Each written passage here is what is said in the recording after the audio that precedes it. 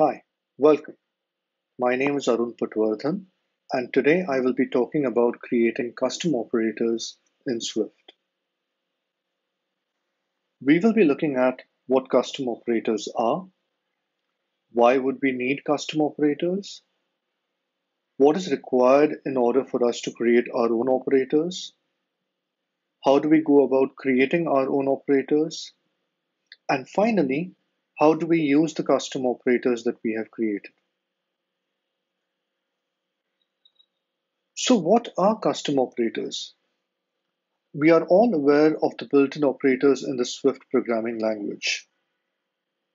Operators like addition, subtraction, multiplication, modulo, greater than comparison, equality comparison, not, just to name a few.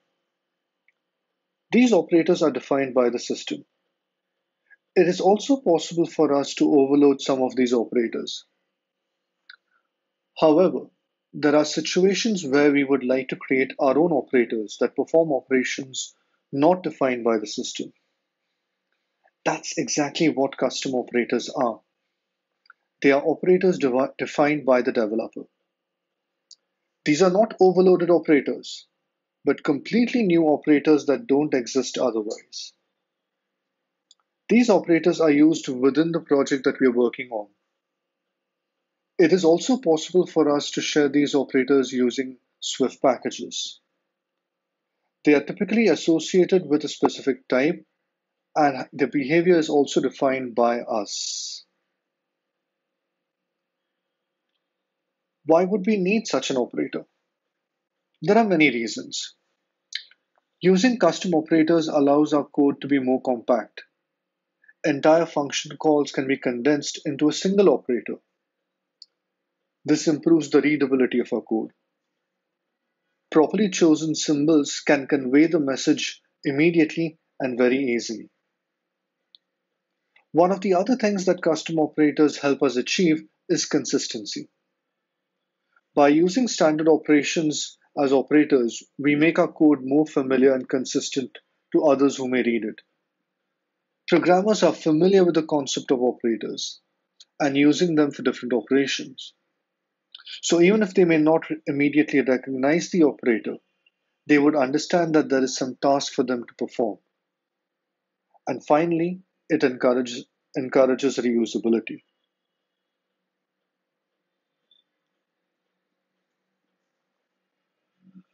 So before we get started, let us have a look at how to create our own operators. And for that, there are certain things that we need to keep ready at hand. First, we need to know the action that will be performed by the operator. This is typically the logic. Second, we need to pick a symbol for our operator. There are some rules we need to follow while picking a symbol. We will look at those rules in a moment. We also need to decide if the operator is an infix, postfix, or a prefix operator. Finally, we need to decide on the precedence of the operator. This, of course, only applies to infix operators. As I mentioned, there are some rules that must be followed when we are constructing the symbol for our operator. Most of the requirements are rather straightforward. However, choosing the right symbol is a very important task. There are a certain set of symbols that are allowed. There are rules as far as white space around operators are concerned. And finally, certain symbols are allowed only in combination with other symbols. Let's have a look.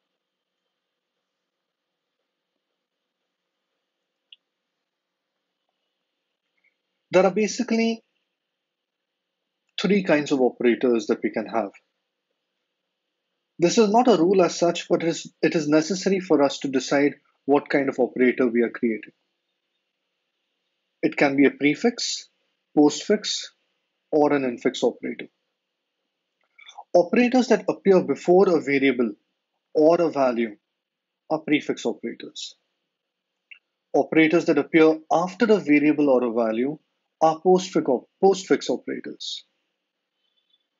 Operators that appear in between variables and or values, we could have a combination of the two, are infix operators. The type of operator to choose depends on the task we wish to perform. We will talk more about this when we look at some examples in a minute. This is the important bit. Which are the characters that are allowed for usage as an operator? We can have ASCII symbols that are used for built-in operators, like the assignment, subtraction, addition, multiplication. We can have many mathematical symbols too, or miscellaneous symbols, dingbats. There are a lot of options available.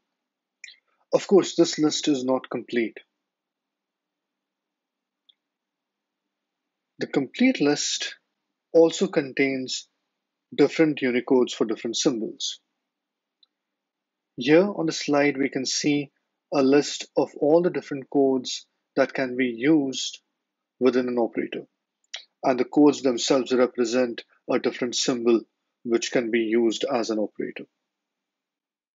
View a list of all the symbols that are available in macOS you can simply bring up the keyboard preferences within system preferences. Under the keyboard tab, you will have a checkbox show keyboard and emoji viewers in menu bar. Select that.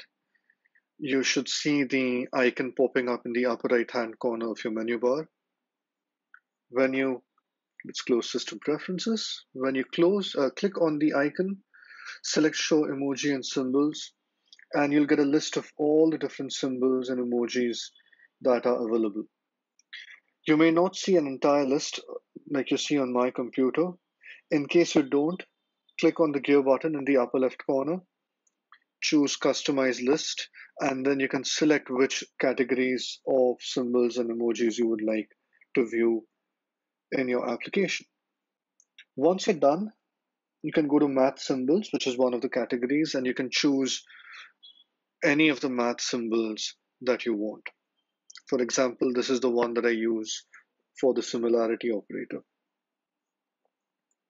You could even search using the Unicode. Just enter the Unicode value and it will show you the corresponding character code out here, which in this case is the wavy dash.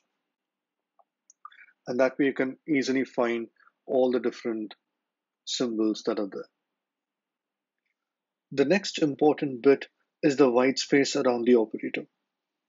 If an operator has a white space on both the sides or doesn't have a white space on both the sides, then it is interpreted as a binary operator.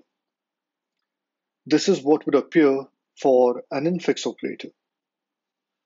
If an operator has white space only on the left, then it is a prefix unary operator. If an oper operator has white space only on the right, then it is a postfix un unary operator. If an operator does not have a white space on the left, but is followed by a dot, then it is treated as a postfix unary operator. Finally, any round, brace, square brackets appearing before or after the operator, along with comma, colon, semicolon. They are all treated as white space. Make sure that we put the white space in the correct place while using these operators. This is very, very important because as we can see, it influences how the different symbols are interpreted. So in the first example, star star is the operator that we have. A star star B or A white space star star white space B causes star star to be interpreted as an infix operator. But if there's a white space on the left or on the right, as in example 2 and 3, they are identified as prefix or postfix operators. And finally, in the fourth example, since there is a dot following the star star, star star is treated as a postfix operator. There are some exceptions to the rules we just saw, especially with the exclamation mark and the question mark. Exclamation mark and question mark, which are predefined, are always treated as postfix if there is no white space on the left. If we used to use if we wish to use question mark in optional chaining, then it must not have white space on the left. To use it as a ternary conditional operator, it must have white space on both the sides. Here's the interesting bit. Operators with a leading or trailing greater than or less than symbol are split into multiple tokens. For example, in dictionary string comma array of int, the last two arrows are not interpreted as a shift operator, so there is no confusion there. Now that we know about the allowed symbols or white spaces, as far as operators are concerned, we can focus on constructing them. There are certain rules for constructing operators. Each operator consists of a symbol which forms the operator head. The head is the first character in the operator. The head may or may not be followed by one or more characters, which are operator characters. The head and the optional characters combined together form the operator. The head itself can contain any one out of a set of valid symbols. Or it can start with a period, that is the dot operator. These are some of the symbols allowed for usage as the head of the operator. You can choose any of those. For all the successive characters, you can use any of the symbols allowed for the head, along with some additional allowed symbols. The list above contains all the allowed symbols. Some of the symbols are valid for operators that start with a, the same symbols in fact, are valid for operators that start with a period. Let's have a look at some examples. Here's an example of a custom operator. A dot star, dot, a dot plus dot or just the similarity mathematical symbol, the square root symbol, two consecutive stars, or wavy dash along with a star. All of them are valid symbols. As far as infix operators are concerned, there is also the question of precedence. Precedence is used to determine the operator priority when there are multiple operators in a single statement. When declaring the precedence group, we need to provide four values. Higher than, lower than, associativity, and assignment. While the first two values are straightforward, that's because they simply help determine the exact position of the newly created precedence as compared to existing precedences. The associativity and assignment are extra items that are not immediately clear.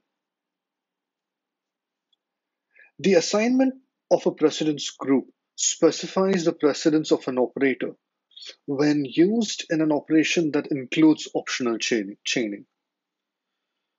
So if it is set to true, then the operator follows the same grouping rules as assignment operators from the standard library.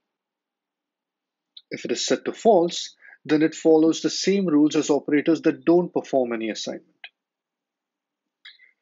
Associativity determines the order in which a sequence of operations with the same precedence are evaluated in the absence of grouping brackets.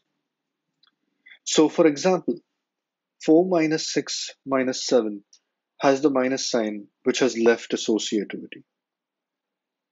And that means it associates with the values on the left. In this case, the operation 4 minus 6 is grouped and then the minus 7 operation is performed.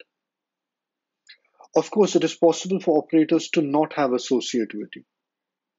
In that case, non-associative operators of the same precedence level can't appear adjacent to each other. Here are some of the default values that are available. The these are not sorted by priority. If you want more information about that, you can view Apple's documentation on the developer portal, where they give you all these precedences sorted in the order of priority. Now that we've seen all the rules re related to allowed symbols, white spaces, character combinations, and precedence, we can go ahead and start creating our own operators. We will look at one example of each type, prefix, postfix, and infix. Let us look at prefix operators. We will create an operator star star for squaring. For that, we will go ahead and implement a prefix function that will take a value, multiply it by itself, and return the answer back. And there you go, we can go ahead and easily create an operator. How about postfix operators? For this, we will create an operator that converts a value to a string. So we'll use the wave arrow symbol. And for an example struct person, we will create a static postfix function for it, which will take the value of the person type and convert it to a string representation and send it out to us. Using it is very simple. All we have to do is just use the operator that we've just created. And we'll get a string value for that type.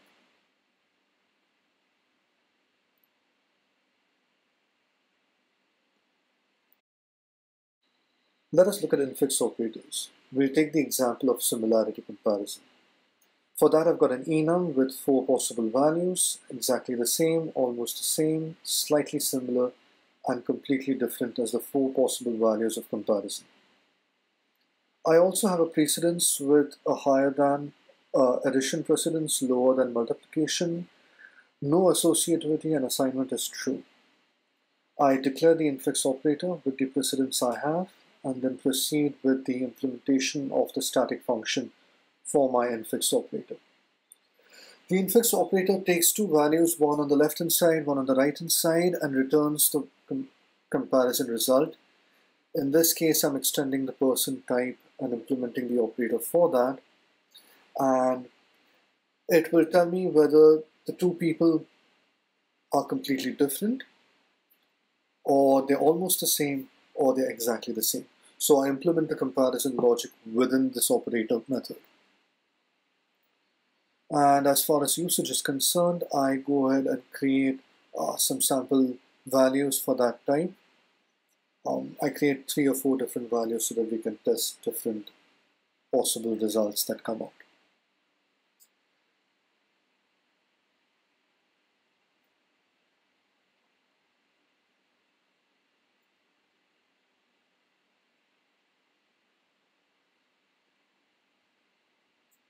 Now that I have the values, I can go ahead and use the operator. One of the things I've done is I've created a code snippet for the operator so that I don't have to copy it from somewhere else every time since it's not a standard operator. Uh, that makes things a lot easier.